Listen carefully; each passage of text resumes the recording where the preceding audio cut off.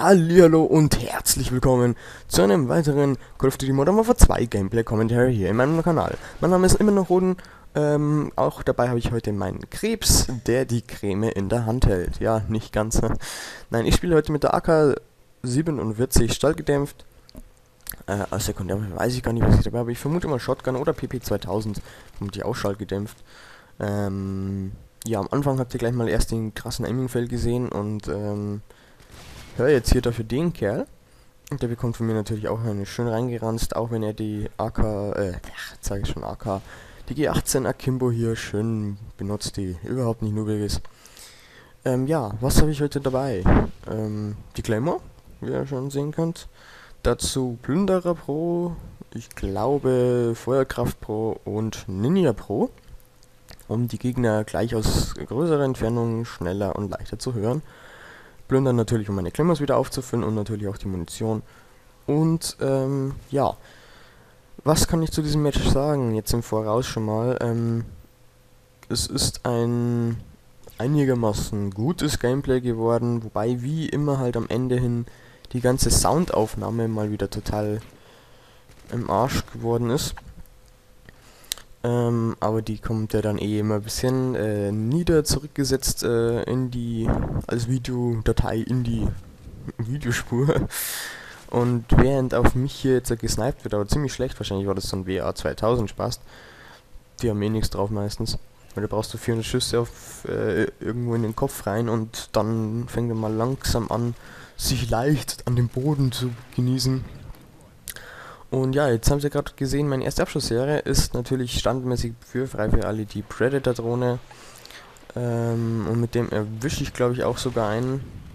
Oh, nicht mal. Hätte ich jetzt nicht gedacht. Dafür kommt da so ein schöner, netter Kerl vorbei, den ich mir natürlich holen. Da ist übrigens schon wieder Freddy. Ich glaube, den habe ich vorher gerade getötet. Fällt mir gerade auf. Und jetzt brauche ich nur noch einen Kill für, mein, ähm, für meine nächste Abschussserie. Das ist nämlich der Harry. Und wenn ich den habe, ist eigentlich die Atombombe so gut wie sicher, wenn ich sie dabei gehabt hätte. Ähm, so leider nicht ganz, ähm, denn ich habe den Payflow natürlich noch dabei. Ja, standardmäßig für frei für alle. Okay, ich weiß jetzt auch gar nicht, wann ich den nächsten Kill mache oder ob ich überhaupt ihn noch zusammenbekomme. Denn ich habe das Gameplay jetzt noch gar nicht fertig angeschaut. Aber dafür setze ich jetzt hier mal wieder die Claymore hin. Und hole mir jetzt hier mein Harrier. Lege mich ein bisschen ins Gras und setze den natürlich gleich sofort ein. Und irgendwie habe ich das Gefühl, dass der doch ein bisschen was bekommt. Ja, und seht mal schon wieder den Freddy. Ja, den habe ich heute besonders gern. Und jetzt höre ich, dass da irgendwo ein Care Package gefordert wird. In der Zwischenzeit bekomme ich den Payflow durch mein ähm, ja, dank meines super tollen Harrier Geschützteil des Dings und dann sehe ich den, dieses super Geschütz, muss ich mir natürlich auch noch holen. Und ja, im Moment bin ich in Führung. Das ist natürlich die Frage, wie lang. Ähm, aber solange man eigentlich einen Harrier oben hat, ist das immer ganz gut. Und er fragt euch mit Sicherheit, warum habe ich nicht gleich den Payflow eingesetzt. Ähm, da kann ich euch das Tipp mit auf den Weg geben, auch wenn es mit Sicherheit schon 5 Milliarden Jahre alt ist. Und hier seht ihr mal, dass ich überhaupt nicht mit der Barrett umgehen kann. Ähm, ja, und zwar der Payflow, solange der Harry da, Harry da ist von dir, bringt dir der Payflow eigentlich nicht wirklich was, weil die sich sonst eigentlich nur im Weg rumstehen. Das heißt, es kann ja immer nur einer killen und so hast du dann zwei nacheinander. Und da hast du dann definitiv einen Vorteil. Und da habe ich jetzt gerade gehört, dass der einen Taktikeinstieg äh, wieder gelegt hat. Beziehungsweise den Taktikeinstieg habe ich halt gehört. Und dann habe ich gleich eine Flashbang dahinter hergeworfen und der Kerl konnte sich mehr wegen. So, jetzt habe ich meine Central Gun da aufgestellt, den Klemmer hinterher und den Pavlon natürlich auch hoch. Und jetzt ist das Ding hier eigentlich so gut wie abgesichert, also da vorne kann keiner durch, da snipe ich noch ein bisschen rüber, ich probiere es zumindest. Ähm, und von links und von oben eigentlich alles abgesichert und dann habe ich mir gedacht, kann ich eigentlich weitergehen. Und ihr seht schon, mein Pavlo ballert hier zwar ganz schön rum, aber wirklich treffen, ja, jetzt mal ein bisschen, aber naja, also habe ich schon bessere Runden erlebt mit dem Kerl. Naja, vielleicht war ein bisschen angetrunken. Muss man nachsichtig sein. So, dafür hole ich mir hier vorne wieder einen neuen Gegner, der jetzt zu meiner Abschlussliste gehört. Ähm, freut mich immer, wenn jemand Neues dazukommen will. Und jetzt höre ich da wieder ein. Ähm, leider mit Herzschlagsensor. Ja, ihr seid ja richtige Pros, möchte man fast meinen hier. Ähm, aber nun gut. Ihr seht schon, die Gegner sind schön am Campen mit Herzschlagsensor und so, also Heartbeat-Sensor. Ähm, naja, ich weiß auch nicht, was man jetzt dazu groß sagen soll.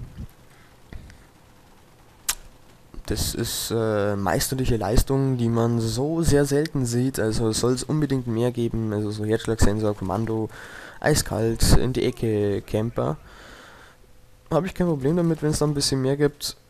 Doch habe ich, zum Beispiel wie der Kerl da. Also die könnten wir im Prinzip alle mal hübsch, äh, ja, da, die können Black Ops spielen von mir aus, da, ja, da sind sie richtig aufgehoben. Aber MW2 sollen die mal hübsch verpissen und bei MW3 sollen sie erst gar nicht auftauchen. So, jetzt ist natürlich hier die Frage, ich habe den Kerl hochlaufen sehen. Da jetzt weiß ich leider nicht eben, wo der ist und dann ich hier den krassen Messerfail. Und äh, das hat mich ein bisschen aufgeregt. Ähm, ich weiß jetzt nicht, ob ich mir den Kerl auch noch holen werde. Normalerweise wäre ich in so einer Situation auf Rache aus.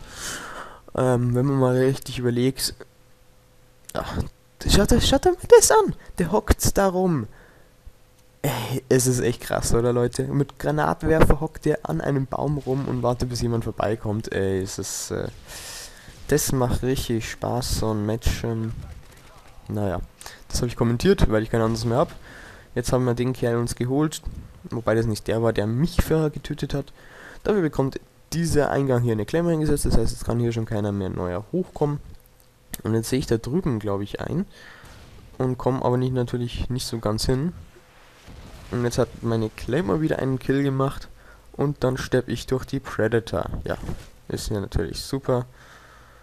Ähm, werd hier ein bisschen angefragt. Doch jetzt brauche ich nur noch einen Kill. Nach diesem schönen Du Last Stand No oder Eliminator. Setze jetzt hier meine Claimer und sehe jetzt da vorne eigentlich gleich jemanden, der in Eliminator liegt. Der scheiß Noobs möchte den noch abknallen, aber meine Claimer ist schneller. Ähm, damit endet das Match. Und zwar 30 zu, ich glaube, 5. Ich muss mal kurz nachschauen, ich denke schon. Es müsste ein 30 zu 5 gewesen sein. Ja, genau, ein 30 zu 5 auf Rundown mit der AK 47. Ich hoffe, es hat euch gefallen. Ähm, wenn ja, bitte bewertet es gut. Gebt mir einen Daumen eben nach oben, abonnieren, kommentieren. Und ähm, ja, wir sehen uns beim nächsten Video. Bis dahin. Tschaußen.